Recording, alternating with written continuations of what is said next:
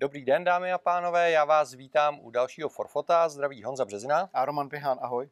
Tak Romane, ty ses nedávno vrátil z úžasné fotografické cesty po Grónsku, což bude určitě spoustu lidí zajímat, protože přece jenom fotografovat na Gróns, v Grónsku není úplně jako nejběžnější záležitost. Co si má člověk představit pod Grónskem? Je to nekonečný let, zima, mráz, nebo jak jste to měli takhle jako v prostředku léta? Tak eh, zaprvé eh, do Grónska bych doporučoval jet opravdu v létě. To dává smysl. Protože Grónsko je nad severním pólem, to znamená, že v létě... Nad severním polárním kruhem. Nad severním polárním kruhem. to znamená, že v létě je tam 24 eh, hodin skutečně světlo, takže v půlnoci, v pravý půlnoci je tak asi něco jako v Čechách v 5 hodin odpoledne. Jo.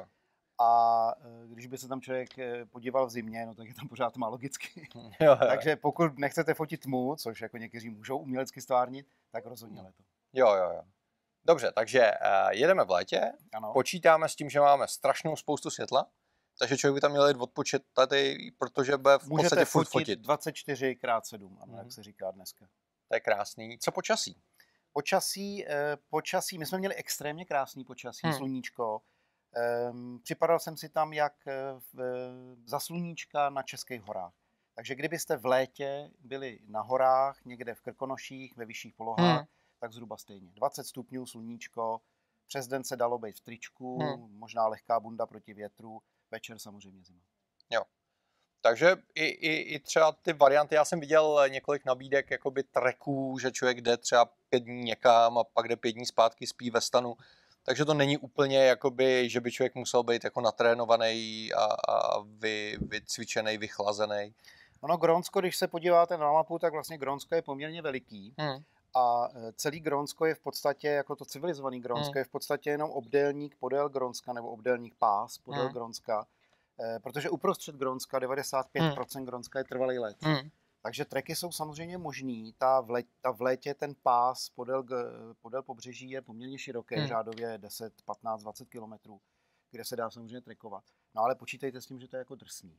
Hmm. Může být zima, může být vítr, v noci ta teplota skutečně klesá poměrně, poměrně dolů a spousta komárů.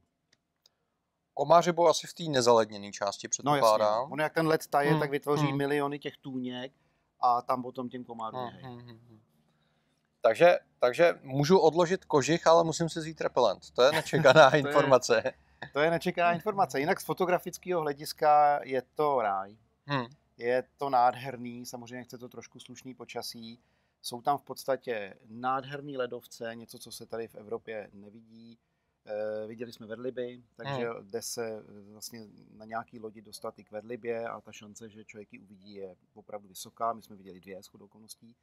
Eh, Dá se tam letět letadlem nad Grónskem, což je uchvatný, protože si člověk teprve vlastně uvědomí ty rozměry, vzdálenosti, poměry a tak dál. Hmm. Eh, Dají se tam dělat nekonečný výlety lodí, dají se navštívit různé vesničky v tom Hmm. Grónsku, čili je tam co dělat. No, když to takhle poslouchám, tak ta fotografická výbava bude muset být docela pestrá, protože vlastně fotíš všechno od krajiny přes eh, reportáž až, až po nějaký zvířata. Co jsi měl s sebou? Já jsem to nepřeháněl, já už Hmm. jak stárnu a přece jenom kostra se mi ohýbá, tak se snažím už nepřehánět s výbavou. Měl jsem 24, 24 105, pardon, Hmm. kanonní Elko a teleobjektiv 100 400. Hmm, hmm, hmm, A hmm. tyhle dva objektivy bych řekl, že na full frameu, když se to adekvátně přepočítá Hmm, na menší hmm. senzor, vám vystačí, když byste chtěli nějaký makro, který tam teda upřímně moc není, ale sem tam něco se dá Hmm. najít, nějaká kytička nebo nějaký mech, lišejník. To já bych spíš Přesák uvažoval třeba. o něčem jako ještě širším. Jako, nebo Dalo by ti to? se, nechybělo. Ne? Většinou, většinou, většinou se dá jít dál, nebo dá Hmm. se s tím nějak, Hmm. jakoby, dá se s tím nějak zacházet, protože ta svoboda pohybu je tam poměrně Hmm. Takže mě jako širší ohnisko nechají. Já jsem s sebou dokonce měl ještě 1740, ne mojí, ale vlastně Hmm. kolegyně, která byla se mnou. A e, nepoužil jsem ji. Dobrá. A jak je to tam třeba s energií?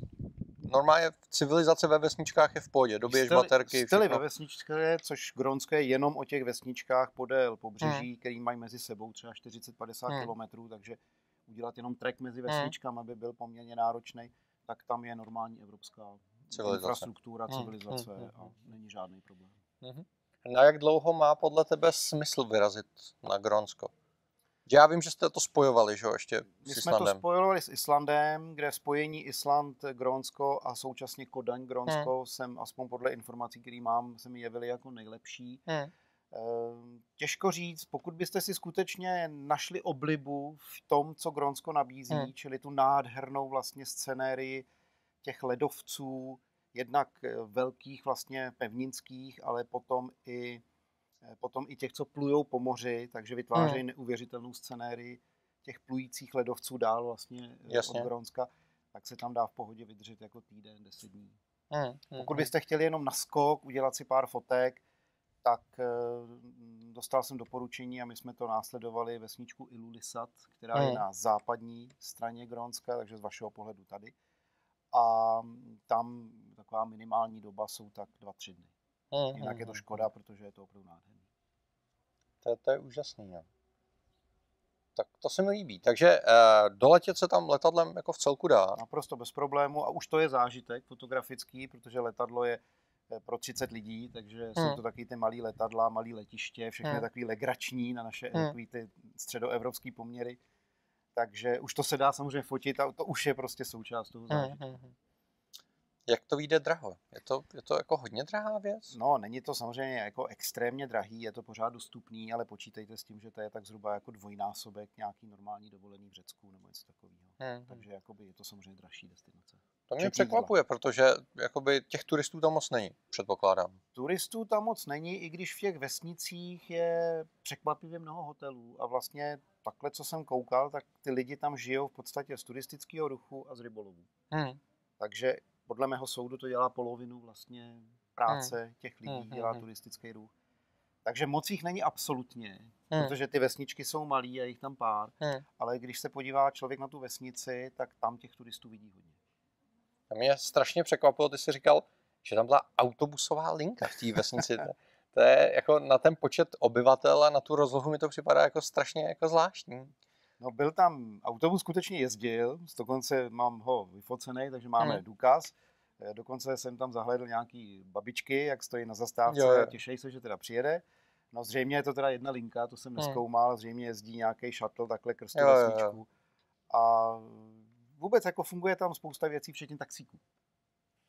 Taxíkem v Grónsku, to je, to je zvláštní představa. Ale zajímavý je, že člověk, my jsme se třeba ptali, když jsme Hmm. tam jeli, jestli si máme půjčit auto. Hmm. A to už dneska chápu, že ten dotaz byl legrační, protože ona ta vesnička má jako v sobě ty silnice, Hmm. letiště je asi 4 kilometry od té Hmm. vesničky, takže tam ty auta jezdí a na, ten, Hmm. na tu přepravu Hmm. na letiště auto potřebujete. Nicméně z té vesničky už nevede silnice jako nikam jinam. jo, To je svět sám pro sebe, který jako už nemá žádný silnice dál, takže jedině lodí, takže půjčit si auto v Grónsku je jako nesmysl. Jo, jo. To bylo strašně krásné. Já si teď nespomenu, jak se jmenovala uh, ta komedie, kde, která byla točená celá na Islandu. On byl fotoeditor a hledal nějakého toho autora. Úžasný svět Voltra Mittyho. Ano, to je ono. A jak tam přiletěl eh, někam na ten Island, oni to prezentovali jako Island do té autopůjčovny a měli tam ty dvě malé autíčka. tak ano, to je víc, než potřebujou. Tomu, tomu rozumím zase. Jinak ještě k té fotografické části doporučuji sebou eh, přechodový filtr, Jasně. protože klasika zase světlá obloha, světlý ledovce, temný spodek, takový ty Pochopil jsem to správně, že, že ta krajina je v principu rovinatá. Ne, ne, nebo- ne, ne- je nebo to není? hornatý. I Je když to- jako ne, že by to byly velehory typu Alpy, Hmm. ale je to taková jako zvlněná horská Jo. krajina, která je pokrytá tím ledovcem a na tom Hmm. pobřeží, kde ten ledovec roztál, Hmm. tak jako jsou kopečky nahoru Aha. dolů, taková středočeská pahorkatina. Tak to je lepší, než jsem čekal. Takže placka to rozhodně není. Hmm. Dobře, přechodový filtry, já jsem tě Přechodový přerušil. filtry bych doporučil, Polarizák. polarizák a pokud byste chtěli si hrát s nějakýma pohyblivýma věcma, Hmm. rozmazání vody, tak šedej, silnej šedej, neutrální. No je fakt, že Jinak počkat si na tmu tam trvá dlouho. To jako byste tam museli být půl roku. ale- to je pravda. A já, protože jsem byl s přítelkyní a ona mi sebrala můj, můj šedej neutrální, tak jsem si pořídil druhý polarizák, musí být ale lineární, pozor, Hmm. ten cirkulární máte. Musím říct, že to skvěle funguje, že dva vlastní Jo, filtry polarizační proti sobě vytvoříte si neutrální filtr podle potřeby. No, nebo nechat tam krytku a trošku zvednout Eh, ISO. To by taky šlo. Možná i na chvilku takhle povodevřít, aby tam trošku toho světla ze strany jako přiteklo. Prosím nás, to jsme jenom žertovali, to nebyl To seriózní fotografický typ. Perfektní, děkuji moc, Romane. Eh, To je zajímavý, já doufám, že se nám tam podaří udělat fotoexpedici. Já bych ji vřele doporučoval, Hmm. protože ty, kdo chtějí fotit krajinu a nejsou nějaký úplně jako, jak se to jmenuje, zimomřivý, protože Hmm. v tom Gronsku bude chladno, tak to ocení. Super. Tak jo, díky moc a mějte se. Mějte se, naschle.